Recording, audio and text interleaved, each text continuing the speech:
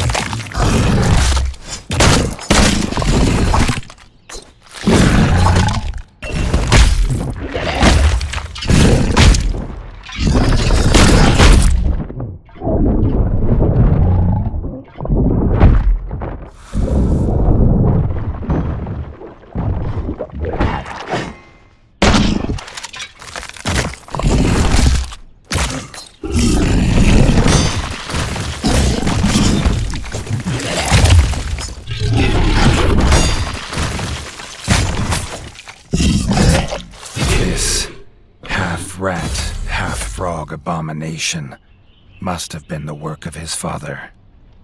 Redgi wondered whether this was the source of all the undead in the crypts. Another of King Rattus' secrets, best kept hidden.